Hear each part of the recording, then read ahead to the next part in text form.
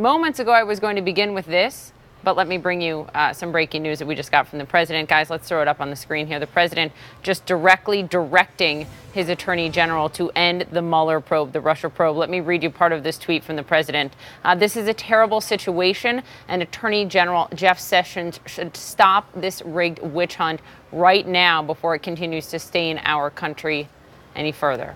Uh, Patrick Healy, your read on this, as I Kaitlan Collins is tweeting, our reporter, this is a first that he's directly. Sure directly directing, if you will, the AG to stop it. Yeah, this becomes a big moment for Jeff Sessions and Rod Rosenstein. They made pretty clear, especially Rod Rosenstein, that the Mueller probe is legitimate, uh, that it should continue, that Robert Mueller should be allowed to do his work. So, you know, the president doesn't see this as interference. He sees it as he can do whatever he wants. I mean, he sort of famously talked about how much President Obama was protected by his Attorney General Eric Holder. But Poppy, this president has a very unusual, and that's a nice way of putting it, view on how to use presidential power with his attorney general. And this looks like mm-hmm. a real pressure tactic. And it's going to have to be a moment where Jeff Sessions, you know, probably talking to John Kelly, the chief of staff, and others, you know, has to ask themselves what, what do they do in response? Do they just hunker down or do they need to do they need to take some kind of action? Um, when it comes to overseeing the the Mueller probe, though, Caitlin. uh, Jeff Sessions recused himself right. himself from all things Russia. So I mean, it, it, it's a bit confusing because it would be Rod Rosenstein that has the purview to do that. Exactly. Rosenstein is ahead of this investigation. And in public comments that Rosenstein has made, he has exuded confidence in this investigation and in the way in which it is going. Remember, he has been at those announcements, announcing those indictments that have come from this investigation. Uh, so he is in charge here. And we have seen the president use pressure tactics against his own attorney general in the past. The question has always been why, why continue? Continue to kind of hang him out there. Mm-hmm. If you were so concerned about this, why wouldn't you make that step in actually firing Jeff Sessions? And that would be, of course, the unraveling of this investigation, but also creating a whirlwind of political problems for this president. So I think that question is still out there, but I think it's really important to note the way in which Sessions and Rosenstein have exuded confidence when it comes to this investigation and how it's being conducted. I think, Patrick, for many Americans watching this morning, they might think, yeah, this is nothing new. The president all the time is blasting the Mueller probe, the Russia probe, calling it a witch hunt, calling out his attorney general. Why is this different?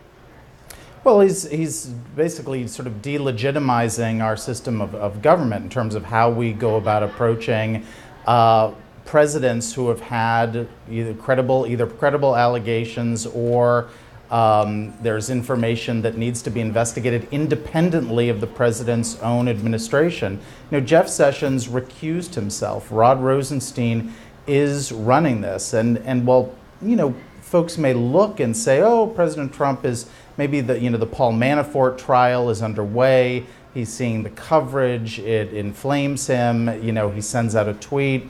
You know, that's just his style." The, I, I, that's not quite the right way to see it. I mean, the right way to see it is this is a president who is exerting pressure on his Justice Department as he has now for you know for many months, um, but not willing to go the extra step and actually mm-hmm. fire Jeff Sessions. It just it creates this sense of sort of chaos and uncertainty and where things stand, but also just delegitimizing or trying to delegitimize, mm-hmm. you know, the independent counsel. And I think, you know, Caitlin, it goes beyond just trying to legit delegitimize it goes to how do you view the Justice Department as working for the American people or working for you? Is it about loyalty to you, the, the, the president, or loyalty to doing the right thing for the American people? And there's a, a, new tweet that just came in from the president. We're working on getting it up, but let me read you part of it. He's talking about Paul Manafort. And this is the first time we've heard from him on Manafort since the trial kicked off yesterday. He writes, quote, why didn't the government tell me that he, Manafort, was under investigation? These old charges have nothing to do with collusion. The government has zero responsibility, Caitlin, to tell the president that the guy who ran his campaign for five months is under investigation, right? That's right. I think what we've heard from the president as it relates to this whole uh, legal uh, standing with, with Paul Manafort is he's tried to make the argument well, Manafort worked for other Republican candidates as well. He wasn't just hired by me. Uh, that doesn't, however, uh, negate the fact that Paul Manafort is um, is under all of this legal scrutiny. But him right calling now. out, Caitlin, and him calling out the Justice Department and saying, why didn't the Justice Department tell me? Mean, right. why This should is- the Justice Department tell him when it's tied to his campaign?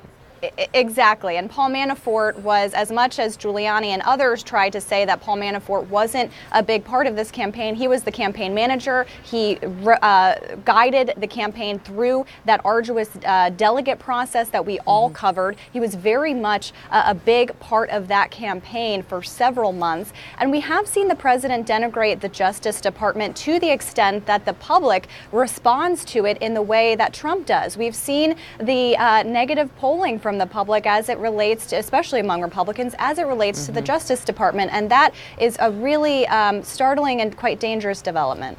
Patrick, final thought on these two big developments from the president in just the past two minutes. Yeah, I mean, we- you know, we, we came into this. Um, the president is looking at going out on the campaign trail a lot this uh, this summer and fall. He's going to Ohio on on Saturday. He was in Florida last night. I mean, he is going to beat this like a drum. He is in some ways running against the American government. You know, he's not on the ballot this fall, but he is using Twitter, he is using his language to sort of create uncertainty about his own Justice Department, but it's also the Justice Department, mm-hmm. raising concerns that the intelligence agencies, the FBI, you know, others aren't doing the work, you know, in a, in a credible way for the American people. And it just, it is corrosive, Poppy. It, it has that effect over time. And I just think this, this fall, President Trump's not on the ballot, but in a way he's, he's running against these American institutions and just trying to whack them over and over again to inflame the base to make sure they turn out. Patrick Healy, Caitlin Huey Burns, thank you for being here and for the quick pivot uh, on that breaking news.